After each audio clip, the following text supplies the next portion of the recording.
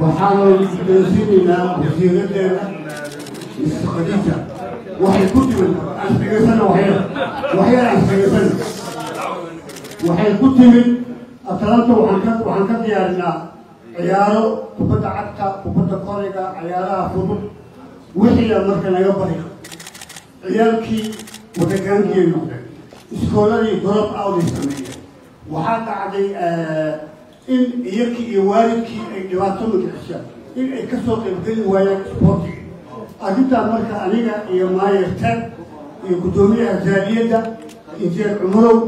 waxay nagu qasabtay in aan maxamed soo wacno. Ilaahay amarkiis qof wax nala garanaya la kulanay khadiijo diiriye waxaana yidhaho dhibkaasaa jiro. Isboortiga wuxuu u baahan yahay soo nooleen si ciyaalkii loo badbaadiyo aysan ku milmin dhibaatooyinka bannaanka jira khadiijo way naga aqbashay waxay qabka taleefonka kaga soo qeybgataa ciyaaraha marka la furaayo marka la xiraayo waxay la hadashaa dhalinyaradii waxay la hadashaa hooyooyinkii. Kulliga salaadanka la sidnaa cawada markaan soo baxayay ayaa oo sideed bilood ka hor maayarkii lugtooga iga soo xiray in wasiirka mis khadiija magaca reer atlanta in lagu siiyo shahaado sharafkan oo ay ku midfarsatay badbaadintii dhallaanka soomaaliyeed ee halkaan jooga iyo hadlaya magaca reer atlanta iyo magaca guddigeeda oo horgud loo yahay. Wasiir saciid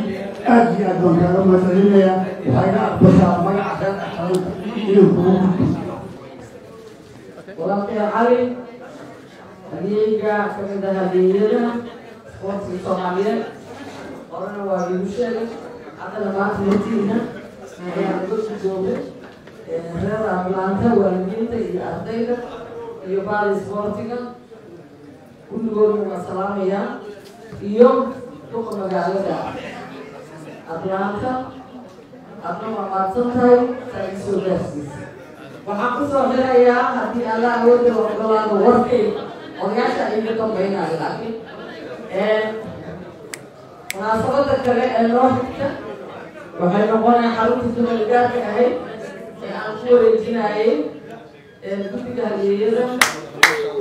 soomaaliyeed iyo xarunta isxalqaanka lagu dhisi doono oo aan dhagax dhigi doono dhigi doono annaga iyo